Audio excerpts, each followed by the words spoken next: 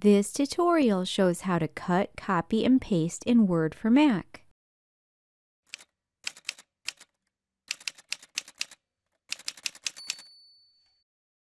Hello, my name is Erin. Today's tutorial shows three ways to cut, copy, and paste in Word for Mac. First, we'll use keyboard shortcuts.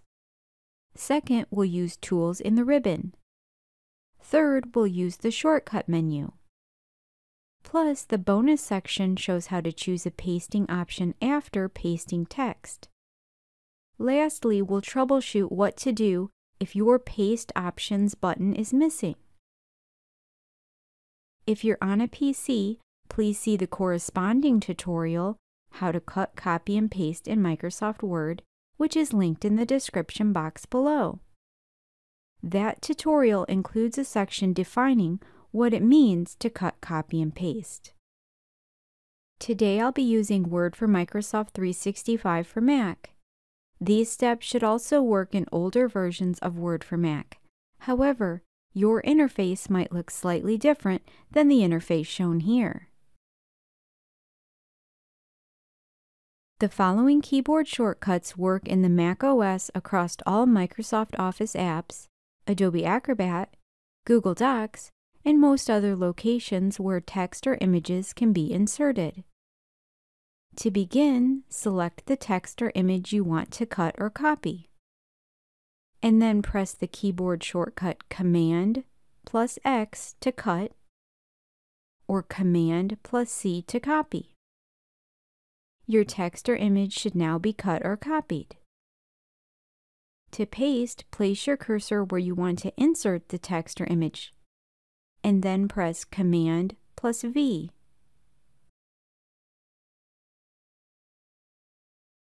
The ribbon method requires more steps than the keyboard shortcuts. However, it offers the most customization options for pasting. To begin, select the text or image you want to cut or copy. Next, select the Home tab in the ribbon.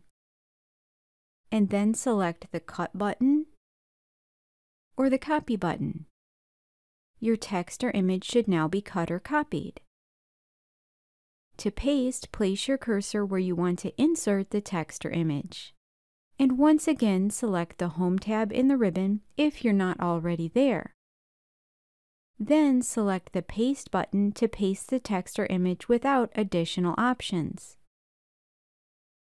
Alternatively, you can select the Paste menu arrow for additional options. Keep Source Formatting maintains the formatting, such as font, size, color, etc., of the pasted text. Match formatting changes the formatting of the pasted text to match the formatting of the new location. Note that this option is called merge formatting on a PC.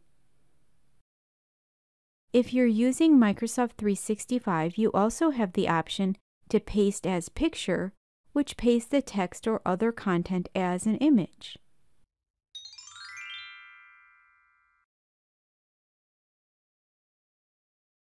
Finally, Keep Text Only removes the formatting of the pasted text and adds the formatting of the new location. Match formatting and Keep Text Only provide similar but not identical functions, so let's take a quick look at their differences before we move on.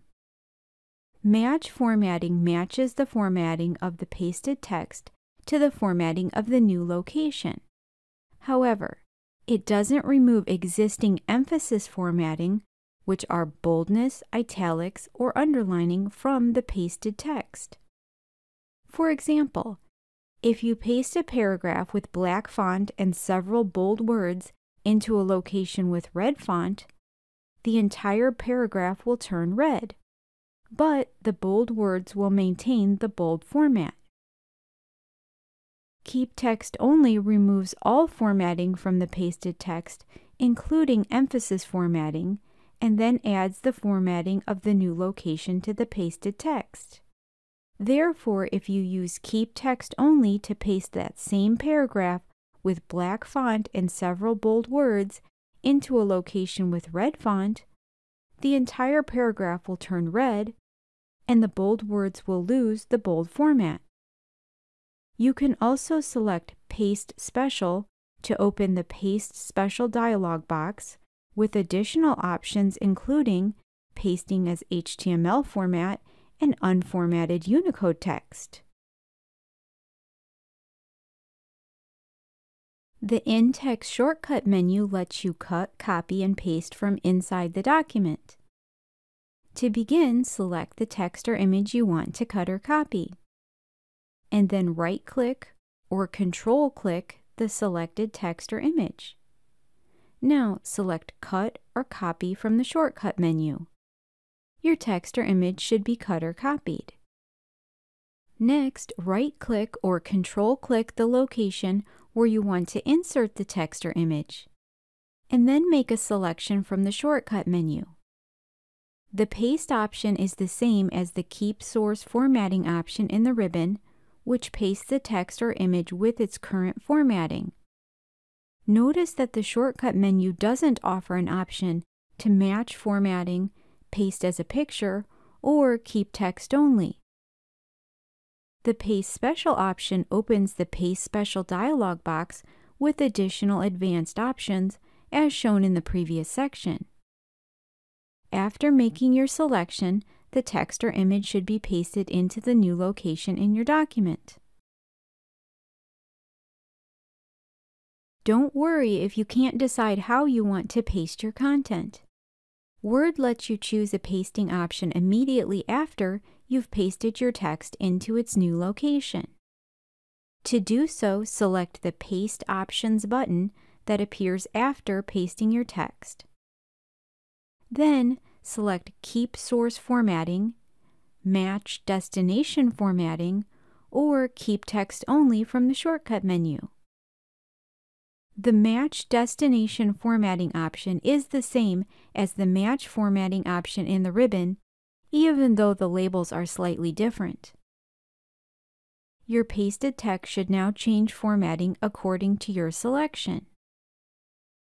It's important to note that the Paste Options button will disappear once you perform another function, such as typing or pressing the return key, so if you want to use this button, you must do so immediately after pasting your text. If your Paste Options button is missing, you can turn it on through the Word Preferences dialog box. To do so, select the Word menu, followed by Preferences from the drop-down menu, and then select Edit in the Word Preferences dialog box. Now select Show Paste Options buttons. When you're finished, select the Close button to close the dialog box.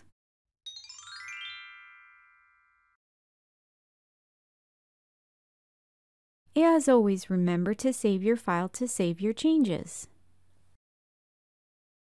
I have created many other videos about Microsoft Word, including how to create a custom heading style in Word for Mac, and how to use the Format Painter in Microsoft Word for both Mac and PC.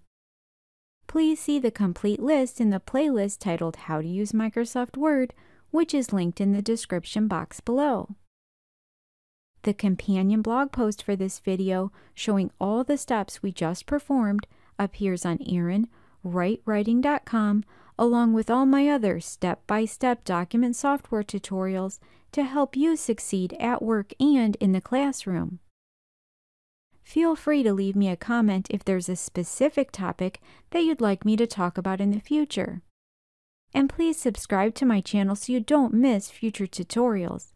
And give this video a thumbs up if you found it helpful.